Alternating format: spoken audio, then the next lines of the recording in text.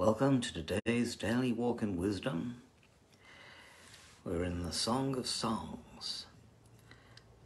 I'm going to be reading, reading from chapter 1, verse 3 and 4. Pleasing is the fragrance of your perfume. Your name is like perfume poured out. Therefore, the virgins do love you. Draw me and we will run after you. Draw me.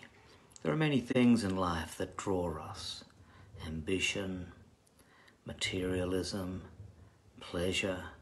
These all draw upon the flesh. Only the King can draw our spirit.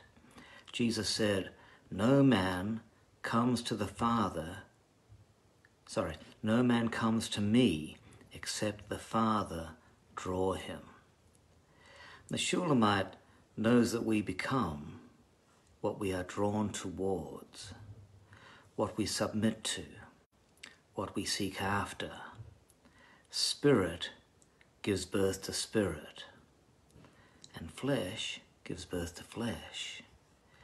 Therefore, the virgins do love you. Draw me, and we will run after thee. David tells us that the virgins shall be brought to the king. He says that in the Psalms. The virgins are those who are pure in heart, for the pure in heart shall see God. And so those with pure motives and purified desire for God find themselves responding positively to the fragrances of his perfumes.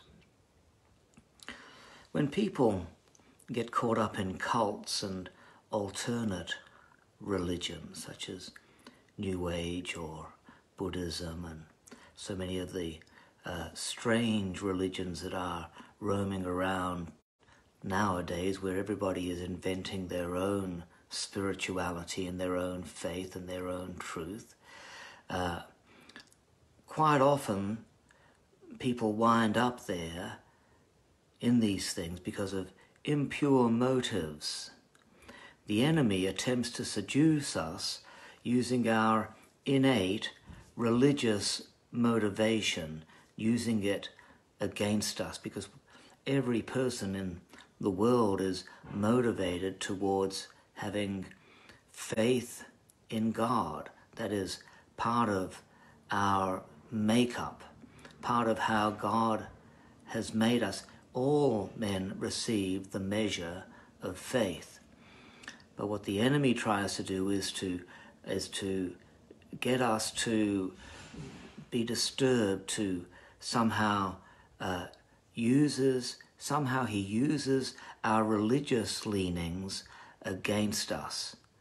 And so we end up being brainwashed uh, with false arguments and pride and, and activity that is disobedient to God, um, capturing our flesh, seducing the flesh, and thereby imprisoning us in cultic strongholds there are many indicators that religious fervour has been stirred more by a cultic spirit than by pure motive. Um, if you fool around with the nature of Christ, or if you fool around with the nature of man and think that people are somehow sinless in our natural state, if you fool around with the nature of salvation, uh, these are signs that you're involving yourself in a cultic tendency. Uh, the proclivity within cults is towards cloning people, so everybody looks the same, dresses the same, talks the same. That's evidence of a cultic tendency. Uh, a biased and limited scriptural knowledge. Cults operate with that. Uh, the elevation of personality and the elevation of extra biblical writings to a near biblical status. Or there might be alterations of Scripture that aid a religious bias, a particular religious bias by altering words within Scripture and then presenting that as the Bible. Um, if there's excessive legalism, or if there are flesh attractions, these are indications that there is cultic influence and not Christian influence or the, uh, or the influence of the church that Jesus is building.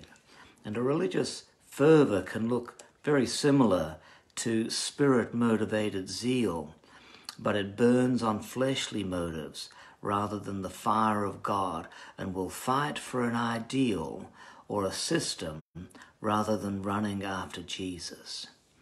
Hebrews tells us to make every effort to enter rest. A cult has no rest. And then we're told, for the Word of God is living and active and full of power, and it's sharper than any double edged sword, penetrating even to the dividing of the soul and the spirit, the joints and the marrow, and it judges the thoughts and attitudes of the heart. So we have to be willing to have our motives tested and made right so that we can live beyond the seductions of the enemy and have a purity that can see God. The word virgins in our passage from Solomon, from the Song of Songs, uh, it also means hidden ones those whose lives are hidden with Christ in God are the ones who are in God and who can see God. There is an exclusive quality to walking with God.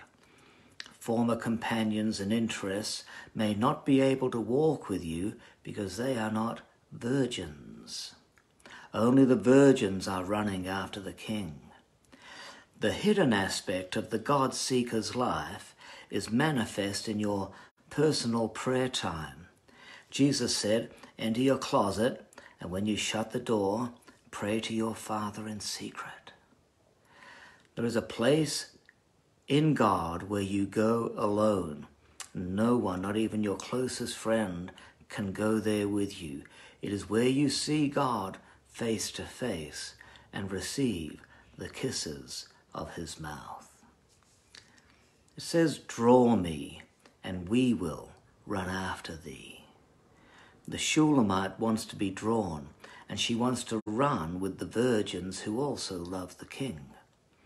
And the Shulamite unfolds a powerful secret that if we are drawn to him, then we will run. And not, it's not just me running on my own, but we will run. And so the plural indicates that if she comes under the influence of the king, then the overflow generated will have the same effect in others that it has had in her. In other words, whatever God is doing in your life will radiate to the lives or cascade over unto the lives of those around you.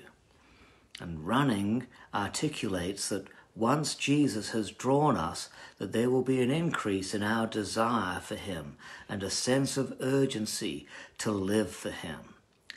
Jesus said, Zeal for your house consumes me. And running also indicates that His drawing power generates a pursuing power in us. And it operates much like a magnetic force or magnetic attraction, where it will appear as though we are using our energy to try to move and do things for God and our motivation to seek God. But in fact, all of our momentum originates from heaven. All of our momentum comes because God is drawing us to Him, and we are like iron filings being drawn to God, who is the the, the awesome uh, divine magnetic attraction that is drawing us to Him. Uh, we're like Elijah, who we can run faster than horse drawn chariots when the hand of the Lord is upon us.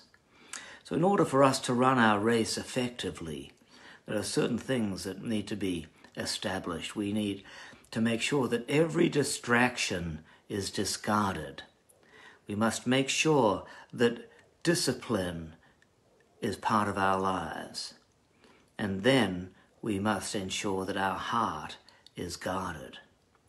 David wrote, I will not merely walk, but run in the way of your commandments when you give me a heart that is willing.